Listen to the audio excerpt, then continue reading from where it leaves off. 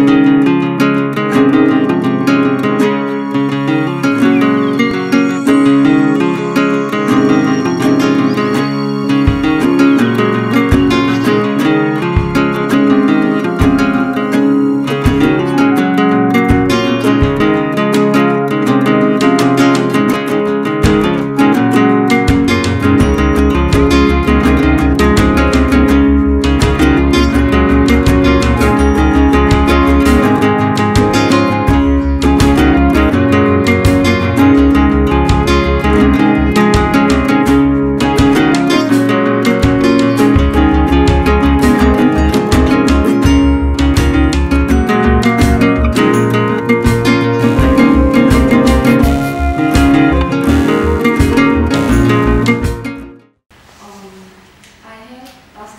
one last question.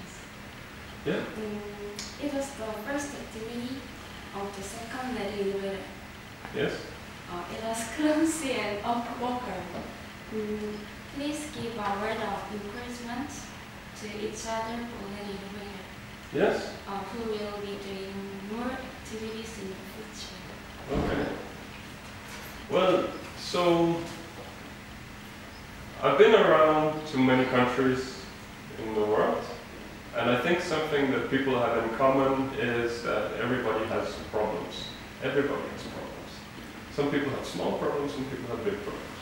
Some people they don't know if they will have food today, and some people they don't know if their telephone is going to run out of battery or something like this or they want to watch an episode of Game of Thrones, but they can't download it. You know, so small problems, big problems.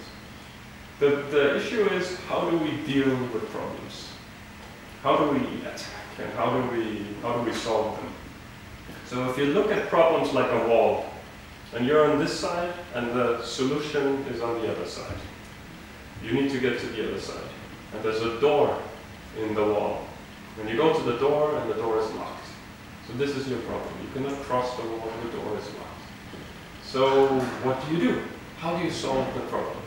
And most people, they will maybe try knocking on the door and wait, and nobody's opening. So you still have a problem. You're still on the wrong side of the wall.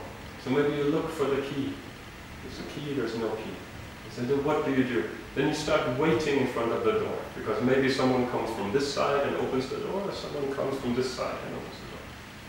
And if this is your final solution, then you can wait in front of the door maybe for the rest of your life.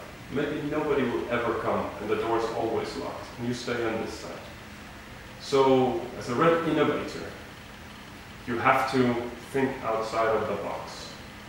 If everyone is just knocking on the door, waiting at the door, this and that, and this is not working, then what is the solution? Well, maybe you start walking this way and you find another door, and it's locked. And you keep walking and you find another door and another door.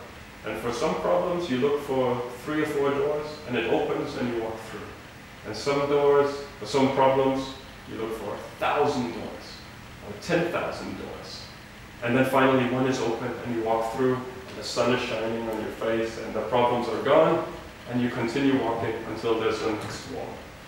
Now what I want to tell you as an innovator is that the moment you stop looking for the doors, nothing changes. You're still on this side. So as a red innovator, you should always keep looking for doors. Always. Okay? Thank you very much. You understood? Okay.